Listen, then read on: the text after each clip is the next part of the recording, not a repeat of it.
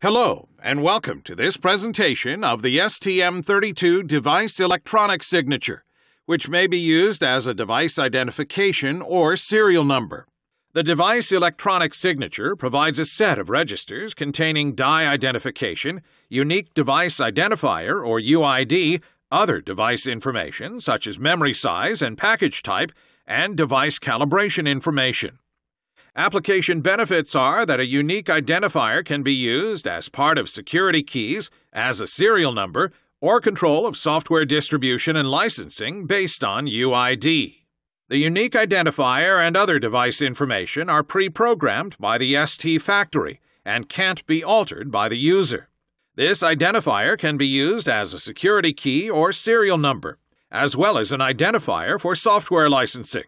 Information stored in these registers can't be altered by the user. The unique device identifier is a 96-bit register created from coordinates of the die on the wafer, lot number, and wafer number, with a certain number of bits reserved for each of those records. This identifier is unique for each part manufactured by ST. As each record within the unique identifier has some range, like X and Y coordinates, not all the bits in the device ID are used.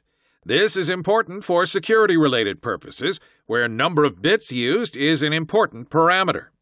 Such applications may use only part of the device ID and avoid using the fixed bits. For detailed information, please refer mainly to the device reference manual and datasheet.